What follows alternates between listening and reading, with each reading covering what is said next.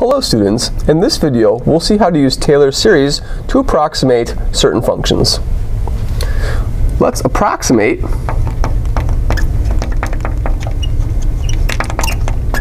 the square root of 10 using Taylor's series.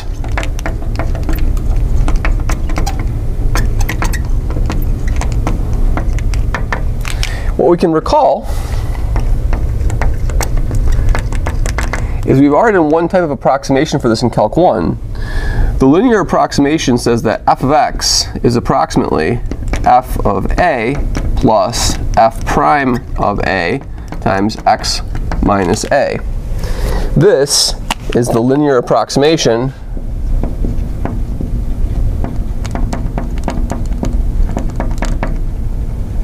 formula. This is also the first order Taylor formula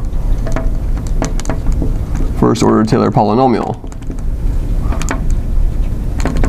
So if we add more terms to this series, we'll get a higher order approximation. Now what we'll do here is we'll take f of x to be the square root of x, or x to the 1 half power, which tells us that f prime of x will be 1 half x to the negative 1 half power. In the point A we'll choose here, we'll choose a equals 3, or 9 rather, because we want the square root of 9 to be 3. So if a is 9, that's what we'll use. And so note that f of a is f of 9, and the square root of 9 is equal to 3. And we choose a number to center the Taylor series at so that the approximation is easy to do.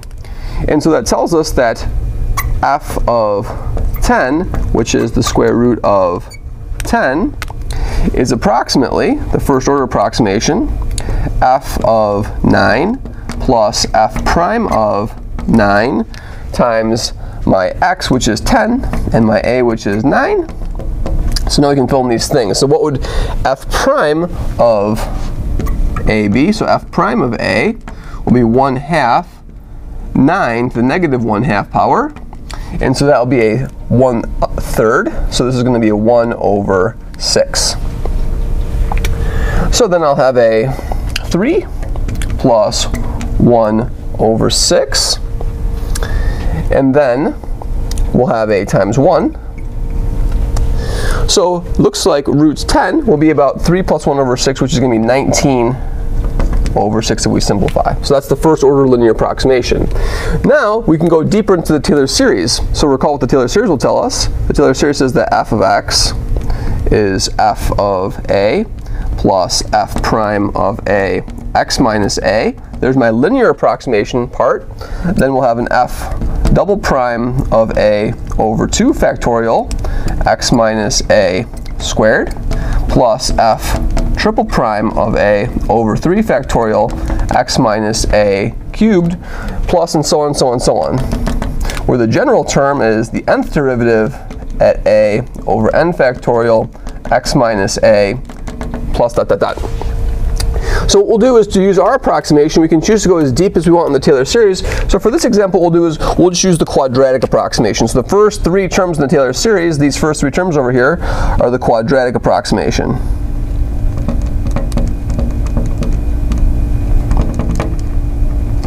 And the remaining terms are the error in your approximation. So let's compute the second derivative. So the second derivative, f double prime of x. Well, We'll have a 1 half times negative 1 half, that's a negative 1 quarter. And then we'll have x to the negative 3 halves. And so if we plug in 9 to this, we'll have f double prime of 9 will be negative 1 quarter, and then 9 to the negative 3 halves. And of course, 9 to the 1 half is 3, and 3 to the third power is 27, so I have a 1 over 27. So this is going to be negative 1 over 4 times 1 over 27. Okay? And so what we'll see over here is we'll see that the square root of 10, which is f of 10, is approximately f of 9 plus f prime of 9 times 10 minus 9 plus f double prime of 9 over 2 factorial. And then 10 minus 9 squared, and then plus an error term. And this error term are simply just all these terms that have powers above 2.